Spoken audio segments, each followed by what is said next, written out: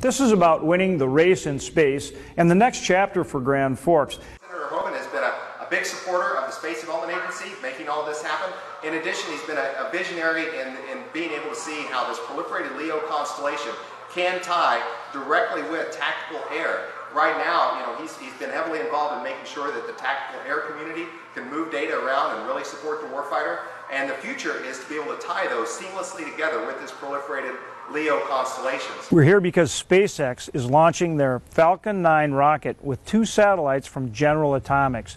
And we're going to do the communications with those low Earth orbit satellites from Grand Forks, North Dakota. And specifically, we've secured funding for General Atomics to develop laser communications with these satellites and unmanned aircraft, MQ 9 or Reaper aircraft, at the Grand Sky Technology Park.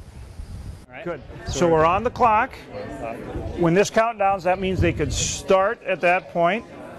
And we've got what about an hour after that hour window within which to launch. 2:56 p.m. Eastern is when the window opens, and we have about an hour after that. So, typically, you know, every rocket has its own unique attributes that require kind of uh, tailored infrastructure. So, for example, that that site is uh, is a SpaceX site.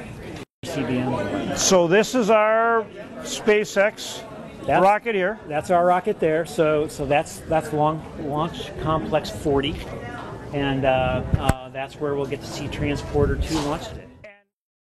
So we were here uh, hoping that the uh, rocket would uh, launch today. We got within 12 seconds and they had to scrub it because uh, evidently an aircraft got within range of the launch facility. And so they've scrubbed it and they're planning to fire the rocket off tomorrow.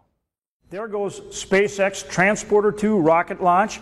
Falcon 9 rocket taking five satellites into space. Two of those are General Atomics satellites, and we'll be communicating with those satellites from Grand Forks, not with radio waves, but with lasers.